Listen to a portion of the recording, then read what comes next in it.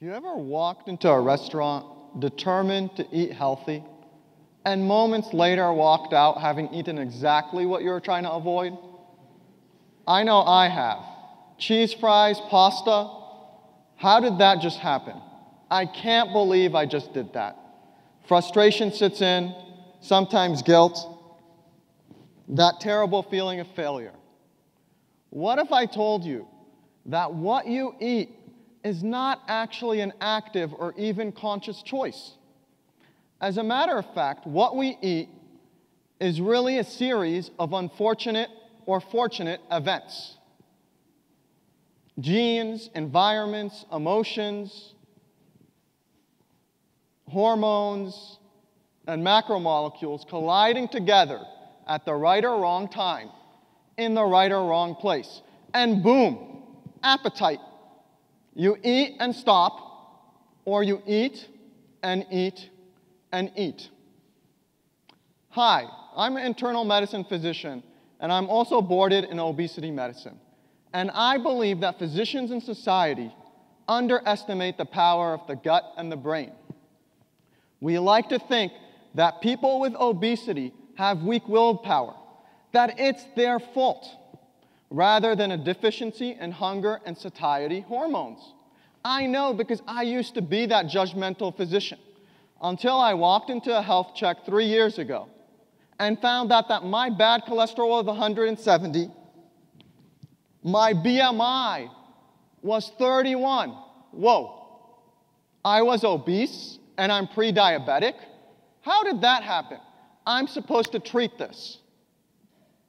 All of a sudden, I was my patients, and they were me.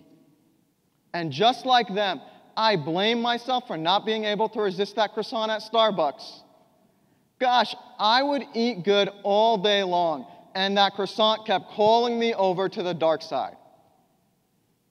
It wasn't until I figured out that my food choices, my food choices were more of a product of what was going on, uh, going on around me rather than within me, rather than a deficiency of me, of my character, that I was finally able to lose weight, but more importantly, learned how to chronically manage weight.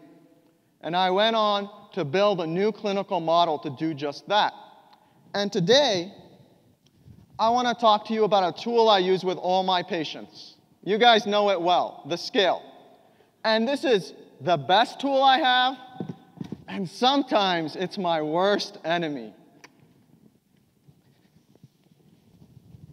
It's the best tool because long term studies show that the best way you can get your weight off and keep it off is by stepping on this daily.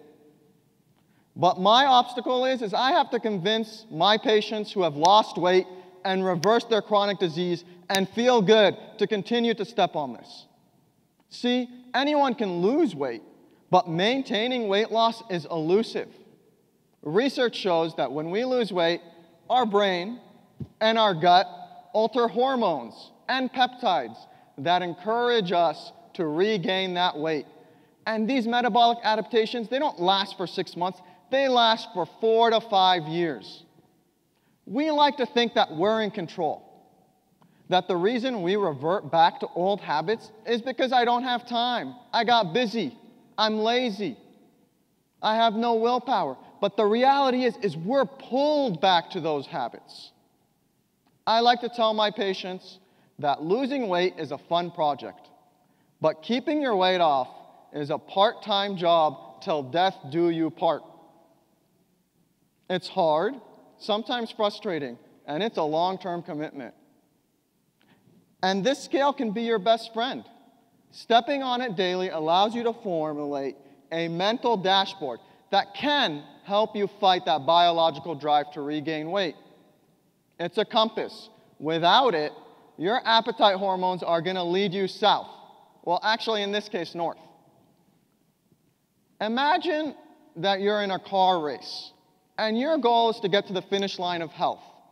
It doesn't matter how fast or slow you get there, but you want to get there and stay there because that's where you feel good. People with obesity have a smaller gas tank. They can reach that finish line, But in order to do so, they need to have the perfect race, no mistakes. The wind, the road conditions, the tires on your car, the fuel you put in your car, the speed you go out will all determine how far you can take that smaller tank.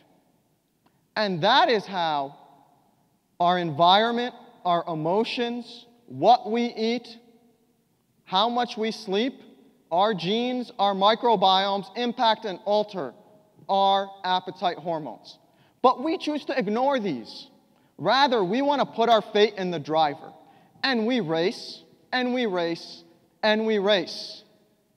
And we fail, and we fail, and we fail.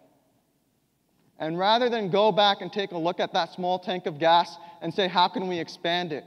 Or take a look at the conditions and say, how can we optimize them to get the most out of that tank? We turn around and we blame the driver, me, you. And that's how the scale becomes my worst enemy. Look at that. I gained two pounds. I can't believe I binged on Nutella while preparing for this TEDx talk. I'm a failure. I'm pathetic. I can't control myself. I'm fat. I'm lazy. This type of self stigmatization and self blame will make you sick.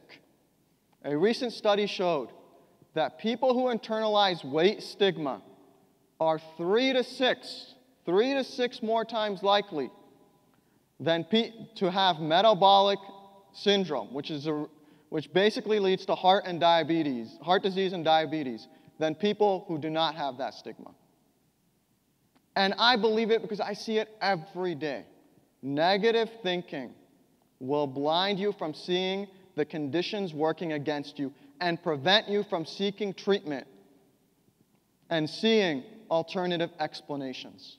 Let's try this again. Look at that. I gained two pounds. My mental dashboard goes up. You know, my appetite must be up because I've been working late at night. I better start sleeping a little bit more and catch up on some sleep. Or if I have to work up late at night, I better make sure there's no Nutella around. See, the problem is not the scale. The problem is the stigma we as a society place on people who are overweight or who struggle with obesity, with this misconception that weight somehow represents our character. It does not. Let's stop judging ourselves and others by their weight. Weight is a number. We can track it. It's something that we can perhaps remind us, be insightful, but it does not tell you the whole story or even a part of the story.